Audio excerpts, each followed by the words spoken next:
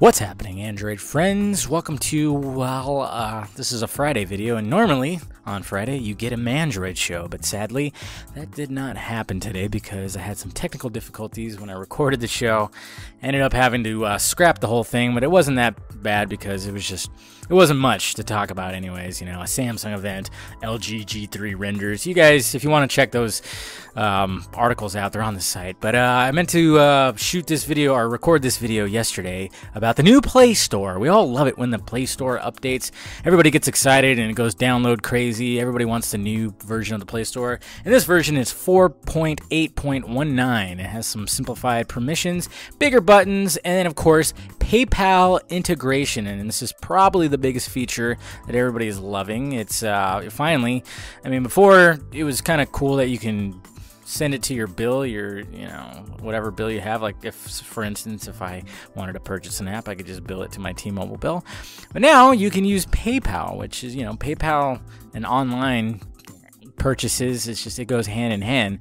So this is pretty cool stuff here. As for the other features, there's a new additional information section in apps. The new section offers up more detailed info like application version, installed file size, content rating, and permissions detailing. That is good because sometimes you're uh, you're going okay do i have the latest version? How big is this? What version is this? Sometimes it was difficult to find but now they have it and they also simplify the permission screen a little bit. Rather than a huge list you know that remember when you get that huge list where it's just like okay we need permissions to this and this it looks a lot cleaner now i must say just really really really good it looks pretty look at how that looks looks awesome and it looks like a small change to the slide out menu. Redeem has been moved from the main list and added in where settings is. So you can redeem within the settings as opposed to having it on the slide out navigation menu side. So that's pretty cool. So uh, if you don't have the latest then um, in the Play Store. If you don't have the latest APK, I should say, we have the download for you. Just check down in the links below.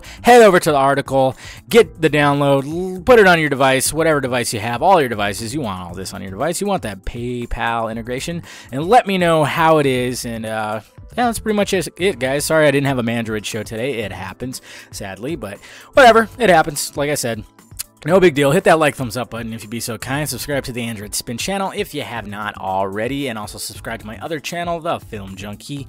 Or you're going to do all kinds of fun stuff right there. And then follow me on all that social media crap that's down below. And there's also other awesome links to click, websites, Film Junkee, Autocorrect Failness, Gapps Early. Check them out, guys. All right, I am David, your Android Junkie, at AndroidSpin.com. And this has been, well, a random video about the Play Store. All right, guys, talk to you later.